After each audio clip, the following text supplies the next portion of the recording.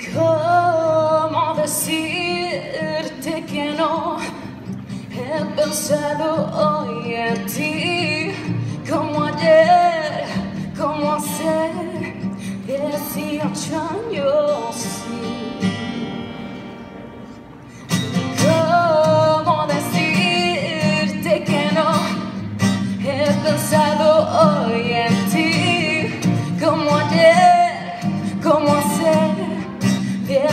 años y voy a escribir de otra vez, pues